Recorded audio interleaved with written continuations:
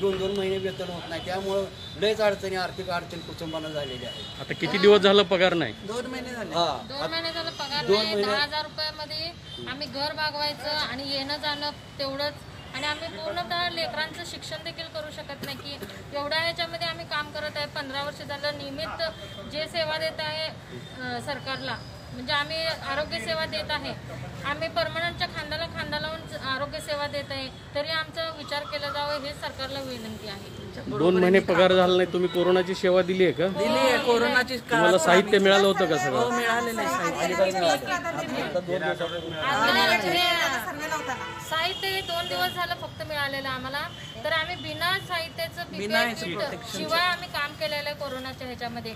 सर्वे करायचं पूर्णतः त्यांचं क्वारंटाईन करायचं त्यांना प्रत्येक त्यांना काही सेवा पाहिजे ती सेवा आम्ही त्यांना दिलेला आहे. आमच्या परीने जेवढा आम्ही प्रयत्न आहे तेवढं पूर्णतः केलेलं आहे. जेवढं आम्हाला पीपीआय किट न देऊन देखील आम्ही आमच्या जीवाची पर्वा न करता आमच्या लेकरा बाळांपासून देखील आम्ही दूर राहून सेवा त्यांच्यासाठी केलेलं आहे. तरी आमचं शासन याच्यामध्ये पुरेपूर विचार करावा.